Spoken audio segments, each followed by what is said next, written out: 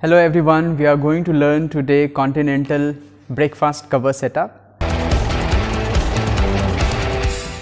This is one of the lightest breakfast in the world where we used to serve varieties of juices, breads, preserves and tea and coffee. So let's do it.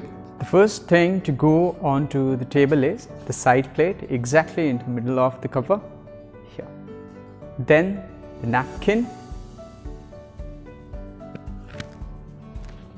side knife exactly the middle. Do remember the cutting edge of the knife should always face left. We're going to place the sugar caddy butter dish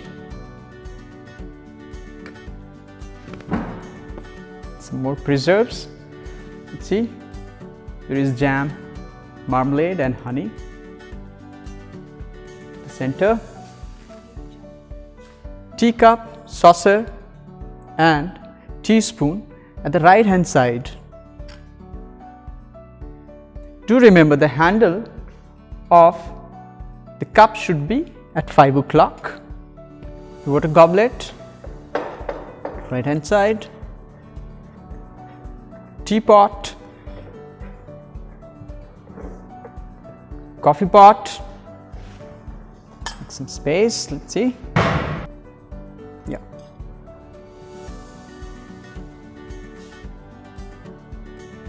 Center. That's it. Croissant. Juice glass.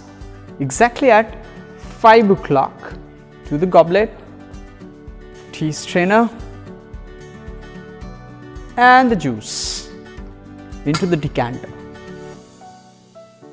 continental breakfast cover setup.